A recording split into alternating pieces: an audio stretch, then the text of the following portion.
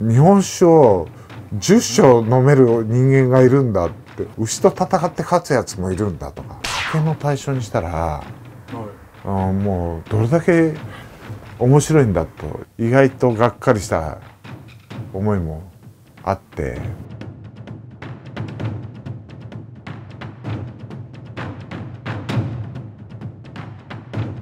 親方のこの理想っていうのは、親方入るじゃないですか、うん、まあなんなら中学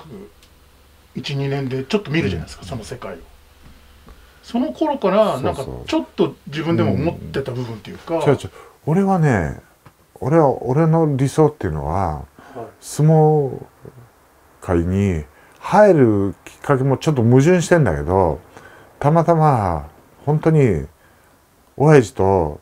たまたまもう野球選手になりたかったから、だからもう毎朝毎朝野球やったんだけど親父の都合の関係で山口に引っ越した時に野球部がなかったわけそこに。ないからもう野球ないからもうボボケっとしてたっていうかそういうだたまたまテレビで相撲見てたらあ相撲面白いなと思ってね、面白いなっていうのはだから親父がこれ100円と500円どっちかけるって俺も新聞配達やってたから隠れてね。それ金もいくで100円500円とか言ってそれで楽しんでたのが、それきっかけで相撲真剣に見るようになった。わけ、賭けの対象だよね。だまあその相撲を見るその応援するその矛盾もしてんだけどあ相撲って面白いよなってでまず子供の頃でそれもうその時から賭けの対象にしたら、はい。あもうどれだけ面白いんだというのがもともとの始まりだから。うん、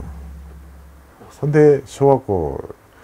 でいろんなこう書物をさ相撲の本を読み漁ってほんで相撲ってすごいなと。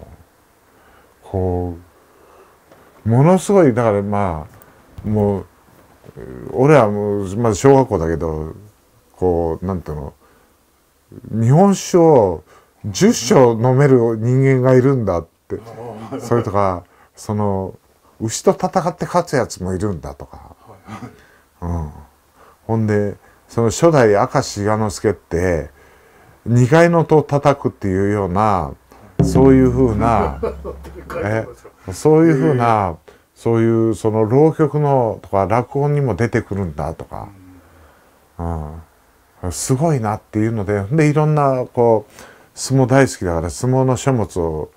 子供の頃に読み漁ったわけずっと、相撲の歴史とかねいろんな話をずっと読み漁ってわ相撲ってすごいんだなってでその憧れで力士になった。力士になろうと思って小学校の力士の門を叩いたの。叩いたら叩いたでだからその裏も見えてくるとやっぱりそういうあそういうこともあるんだと思った。ら意外とがっかりした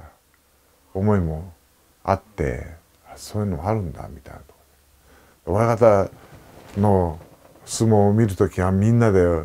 あのおかみさんねとか正人コーチと俺は親方の相撲を取る時はもう正座して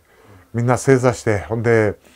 で神棚にもうねもうちゃんともう綺麗にしてほんで「親ダンスも始まったよ」とか言ってみんなでこう正座してみんな見てた。みんなで「いけいけ!」とか言ってて「うん。勝ったら勝った」とか言って。で親方がそれで帰ってきたらさで親方はやっぱり胃が弱いからだからちょっとずつしたもんをゆっくりご飯食べんだけど。で2時間3時間かけてご飯食べる。腰悪いからこうやって横になってさ、でこうでまたそれで食べるんだけどでこんなこと真似しちゃダメだぞとかやりながら「はい」とか言って。本当はやっちゃいけないことだけどもうこう腰が悪いからしょうがないからやってんだからって言って「はい」とか言って。それが土台にあってまあ、いざ修行で入った時に、うん、俺は絶対ガチ初めからそのつもりでしかないっていうかもうもうそういうふうな夢があったからね。夢がああ相撲ってやっぱりそうやって大好きで見てたら面白いなと思って、はい、だからやっぱそういうふうな夢があったよね、うん、そういう。だからやっぱ若田もそういう夢があったんだろうね、はい、そういう思いで一生懸命やったんだろうからだからその中で俺も半年でもその中に一緒に入れたっていうことはやっぱ他の人と違ったやっぱりこう感覚で見れるよね。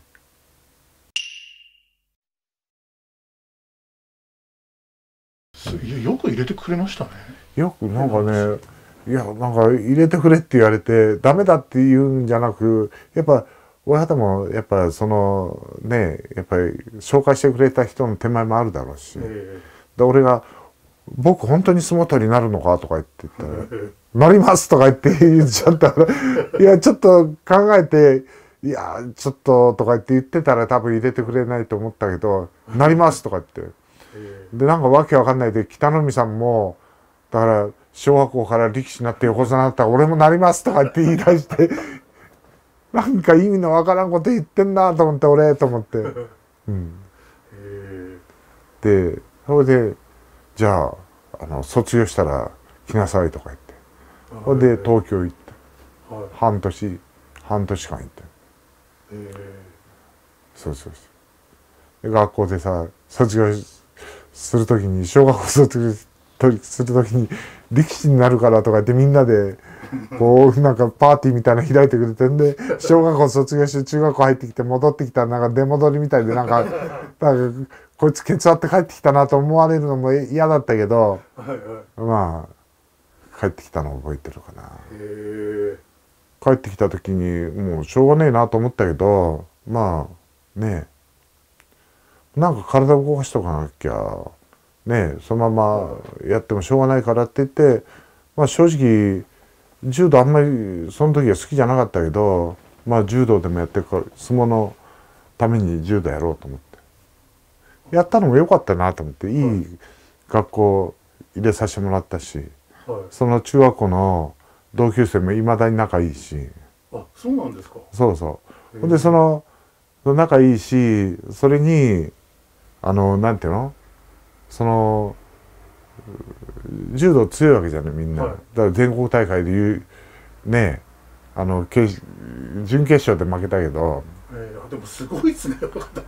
準決勝で負けたけど、はい、そのチームが強かったから、うん、本当に強かったから、はい、その当時。あその当時あのそうそう。行動学者ってあの第二課がやってるあの今ないけど行動学者っていうのがあってそれがあの東京の鶴巻中学っていうとこにあって、はい、で行動学者でずっと中高一貫で練習してるわけよ。中高一貫で練習してるそこに中高一貫で練習してる中ででその時の,、まあその行動学者に古賀もいるし吉田秀彦もいるし、はい、で今のねあの高校のあの中高一貫でまたやってる高校の名古屋にあるんだよね、はい、石石田っていうのが監督やってるので、そこまた強いわけよ、うん、そういうふうな流れでずっと来てるわけよ。1年後輩だから、もうね やっぱスポーツってあるじゃん。一先輩後輩とかって。まあ焼肉屋東京来たら必ず顔出してくれるし。ででそのねその同級生が明治大学行ったりいろんな福岡大学行ったりいろんな大学行ったらそれの後輩とかも俺が相撲部屋行ってるから遊びに来たりしてくれるわけじゃない。はい、でその明治大学行ってるその長田っていうのがいるんだけどまあいつも YouTube 見てくれてるけど 長田の親友が柔道の小川だったりする。へえ、小川直也ですか？小川直也。で、で小川直也も、はい、まあだから友達になってくれてね。それで、あだから高通家俺の友達なんだって言ってくれるの嬉しいじゃないなんか、はい、そういうふうに。だから息子がだから大食い大会出てそのなんていうのその監督が小川だったわけよ。大喜利大会の。そしたら「お前の父ちゃんと友達だからな」とか言って言ってくれたら嬉しいじゃん。それも。仲良くしてて。でそういう中でこういろんなもう付き合いがそのためにそういう中で広くなったよね。そういろんな。ほんでそれで、い。い相撲取りになりたいってやつがいるんだけどって言った時に、やっぱ俺のところにこう紹介してくれるってことはすごいありがたいじゃん。どこの相撲取りがあの相撲部屋が一番いいかとか言って俺に聞いてくれてでも仲良くないわけだからねどこ入れたらいいかって。だからこう今の相撲の形だとこう教える人はものすごいいいけれども講演会がしょっぱいとかさ、はい、講演会。だからそこでこう親方になるのに苦労するだろうなとかいろいろあるわけよなんか、はいはい、今の状況だったら、うん、どこの相撲部屋。だからおあたりがさ相撲取りさせようと思うんだけどっていうのはやっぱ超特急じゃない？A 級じゃなくてもう超特急 A 級の上の超特急あたりがこう相撲取りになるって言ったらさえちょっとなんか問題があって柔道よりも相撲がいいって言ってそういうふうになったら相撲部屋。まあ大川とかはやっぱその柔道の普及のために柔道にいい選手を入れ入れるために努力してるわけじゃん今、はい。うん、そのうちの長田あたりもあとその副大の監督やってる人間あたりみんな俺の同級生で一緒に柔道やってて、うん、俺でも中学校2年からしか柔道やってないけどまあ弱かったけど一応一応だ選手一応だからそのなんていうの一応その5人の中の補欠じゃないからとりあえずは選手だったから、ね、ととりあえず5番目以内に入ってたからね、うん、そこで一緒に戦ってきた、はい、ね。それは後輩とかも戦ってきたわけだし、はい、ねすごい財産ですね。そうそう理想に近い形っていうのはどういう形なのかっていうことを高菜か若菜が一緒にやろうって言ってくれるんなら国会に見解売りに行くのか